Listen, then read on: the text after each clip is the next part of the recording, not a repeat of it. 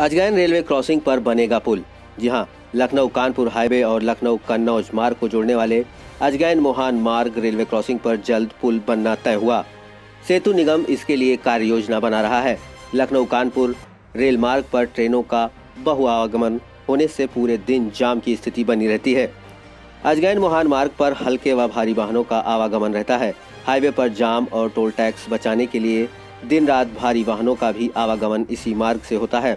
Ajgain station के पास स्थित railway crossing पर पूरे दिन जाम लगा रहता है। इस मार्ग से प्रतिदिन औसतन एक लाख वाहन निकलते हैं। ट्रेनों का बहु आवागमन होने से 24 घंटों में औसतन 80 बार फाटक बंद किया जाता है।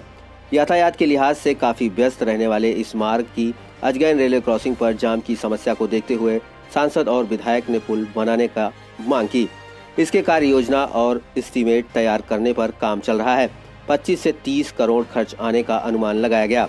एस्टीमेट बनने के बाद ही सही स्थिति सामने आएगी।